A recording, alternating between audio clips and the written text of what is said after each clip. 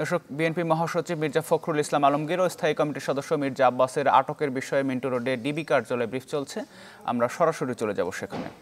তাদেরকে আটক বা গ্রেপ্তার বা কোনো মামলা কি আমরা আমরা আমরা জিজ্ঞাসাবাদ করছি আমাদের জানা এমনি তাদের আমরা জিজ্ঞাসাবাদ করছি। ভাই এমনি কোনো ডিসিশন হয়েছে কি? তারা কোথায় যাবে? সমাবেশ আমরা আমি কালকে বলেছি ওনাদের সাথে ওনাদের যে প্রতিনিধি দল এসেছিলেন আমাদের সাথে মিটিং হয়েছে। এই সৌহার্দ্যপূর্ণ মিটিংয়ে তারা দুটি প্রস্তাব করেছেন, আমরা ঠিক দুইটা প্রস্তাবে মেনে নিয়েছি। তারা প্রথম বলেছে তারা জনসমাবেশটি করতে চায় কমলাপুর স্টেডিয়ামে এবং আমরা আরেকটি স্থান, আমরা তখন বাংলা কলেজকেও আমরা করেছি, দুইটা জিনিস নিয়ে তারা দেখেছেন।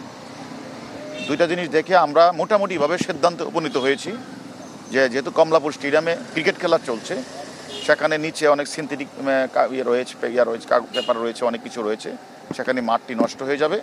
সে কারণে আমরা আমরা পুলিশের পক্ষ থেকে আমাদের সিদ্ধান্ত হয়েছে তারা জনসমাবেশটি করবে বাংলা কলেজে।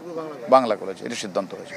কিন্তু তাদের মধ্যে আবার আরেকটা স্থানের কথা তারা এখন বলছে সেটা হচ্ছে গোলাপবাগ মাঠ। আসলে গোলাপবাগ মাঠ নিয়ে কোনো কথাই হয় নাই এ বিষয়ে কোনো সিদ্ধান্ত হয়নি কোনো কথা হয় নাই। তারা সেটার কথা আবার বলছে। কিন্তু অনানুষ্ঠানিকভাবে সিদ্ধান্তটি হয়েছে Bangla. Bangla college. Thank you ঠিক আছে ঠিক আছে ঠিক আছে। দর্শক মির্জা ফখরুল এবং মির্জা আব্বাসের আটকের বিষয়ে ডিবির পক্ষ থেকে ব্রিফ করা হচ্ছিল আমরা এতক্ষণ সেখানেই ছিলাম।